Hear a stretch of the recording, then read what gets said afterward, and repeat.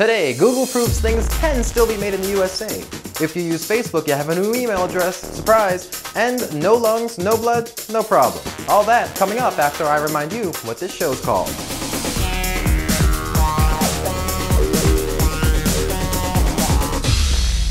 It's TechSpank. It's called TechSpank. Anyway, this week, Google announced the Nexus Q, which they call the first social streaming media player. Everyone else is calling it Google's ripoff of the Boxee Box or Apple TV or Roku or whatever, take your pick. It looks cool and has some pretty interesting features, but that's not the news here. What's really interesting about the Nexus Q is that on the bottom it has the words designed and manufactured in the USA printed on it. I know what you're thinking. We make here? What, are the Chinese too lazy to make it for us? Well, according to the New York Times, the trend of making things in China is showing signs of reversing. It's not just the rising labor costs, even though wages have come up substantially since two decades ago when things started moving to China, or the cost of transporting the goods back to the US, which has also gotten more expensive recently. And it's not just the risk of intellectual property theft, which China seems to not care about. Just think about what a common term Chinese knockoff has become. It's a combination of all those things, and in the case of Google engineers working on the Nexus Q, it's also the ability for someone designing a product to be able to get to the factory where it's made in a 10-minute drive instead of a 16-hour flight. Now, the Made in America label might be one of the most expensive parts on the Nexus Q. Will people be willing to buy it over the cheaper Apple TV because of the cool design and homegrown appeal of the Nexus Q? Time will tell. It starts shipping in two to three weeks.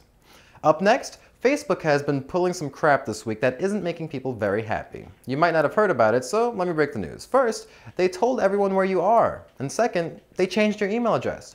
For the first one, they were supposedly just testing a feature called Find Friends Nearby. It lets people see what Facebook users are nearby, duh. And while I personally don't mind, people online freaked out. So a few days later, the feature was pulled. Then Facebook decided that all their users would rather have at facebook.com email addresses listed as their primary email instead of whatever they had signed up with. Isn't that nice? Oh wait, no, it's retarded. It seems like they're trying to give everyone a gentle reminder about being able to use email addresses ending with at facebook.com to get messages in your Facebook inbox. But what if you don't want to? Or what if you're one of the people having problems with messages being sent to the other messages folder, which most people don't even know exists? Well, to change things back, log into Facebook and go to your timeline or profile page and select About. You can then change the email address Facebook shows other users back to the way it was before. You're welcome. Finally today, if you're in some sort of accident or have a disease like pneumonia, your lungs may become so damaged that your body, or more critically, your brain, will have a lack of oxygen. If that problem isn't fixed, and fast, chances are you'll have severe brain damage and possibly even die. So what to do? Well, you can't just inject oxygen into someone's veins because it can cause bubbles that'll block the flow of blood and then that can kill you too.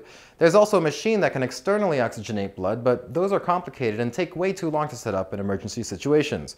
Enter Dr. John Kheir at the Children's Hospital in Boston and a team of researchers who have come up with oxygen-filled microspheres that can be diluted in a solution and transfused into patients. In tests, they found that the oxygen transferred into the red blood cells within around 4 seconds.